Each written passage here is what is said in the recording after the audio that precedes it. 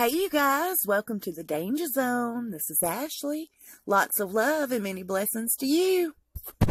You guys, there's some slimy stuff going on in this in this family, but we have to take it all the way back to the royal event. Do y'all remember when they went to that Future Leaders of the of the World event, where little begging Meghan she seen crossing her legs?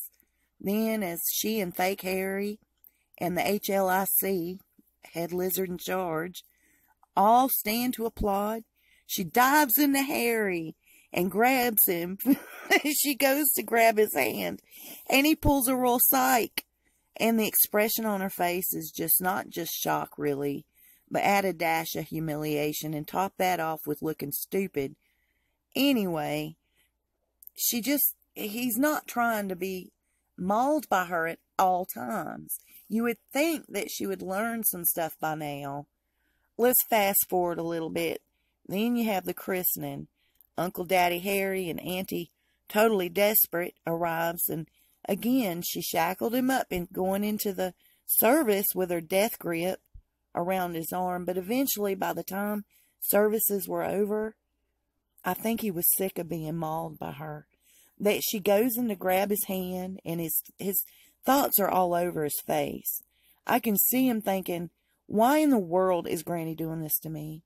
Sending Granny to grab a child and run, telepathic messages using the reptilian frequency, begging for a private meeting over tea, and mealworms to ask how long this punishment's going to last. And we all know that the royal christening dress code is soft pastels for the hers and royal blues for the hymns. And if I really thought Meghan chose her own clothes, I would need my head examined. So, why did these people stick this girl in this olive brown get-up? Look at these pictures. Oh, wait, there's that drunk Aunt Susie. She showed up way out of dress code. But seriously, why did they stick this girl in this olive brown thing? It's almost like marking her in the pictures. So look at these pics. Of course, she's tossed in the Duchess de uh, death grip around his arm again. And then in the next picture, you can see it in her eyes. Why can't Harry wear me as a suit? Meghan, girl, don't you know what happens to a smothered fire? It goes out. Quit smothering your fire. It is going out. Anyway, it's just a really pathetic situation. And she tried her best to hold his hand coming out of the building, and he wasn't having it. But here we have everybody's pictures, pastels and creams, royal blues for hymns, and she's in olive brown.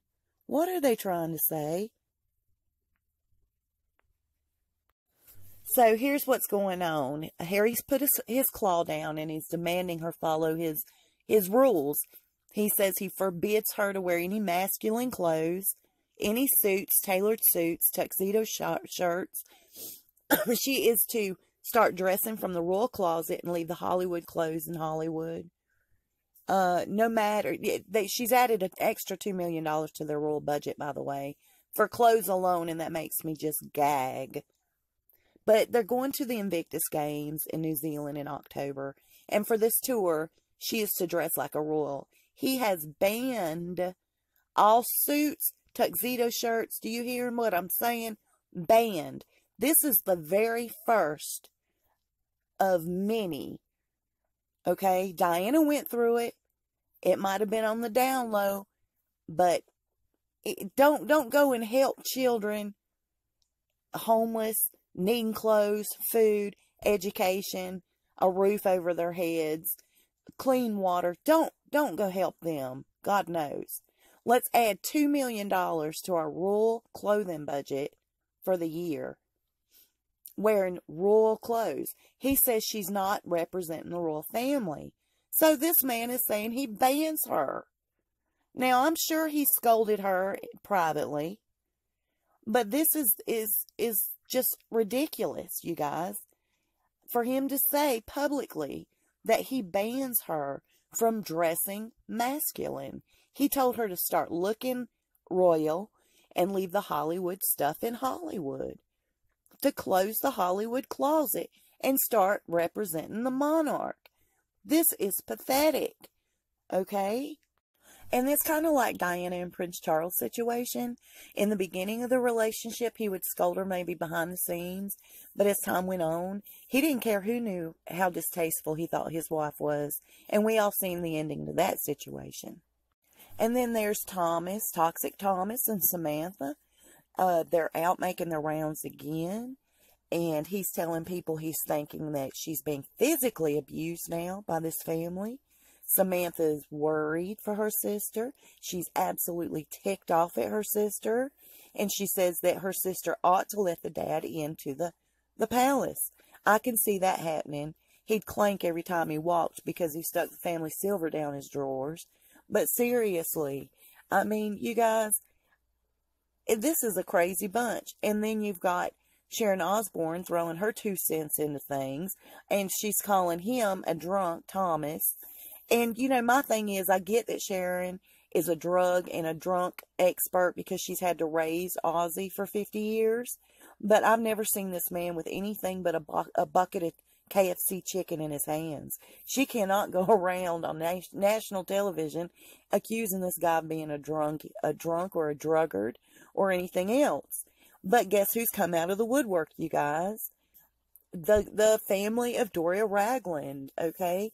her brother Joseph has now said that uh, his his mother, Meghan's grandmother, would be extremely disappointed in who she's turned out to be. Very proud for the fact that maybe she was somebody special in in the monarch or in in you know that family. However, her actions have disappointed the entire family of the Ragland side of the family. Anyway, but see, nobody hears about that. You got to dig to find that kind of stuff out. His name is Joseph, and they come from very meager, humble uh, beginnings, and they live a very um, middle income lifestyle, like like normal people in this country do, or or all the you know we're we're not one percenters, and neither are they. And he says she's just lost who she is and he's very disappointed, and he knows his mama would be too.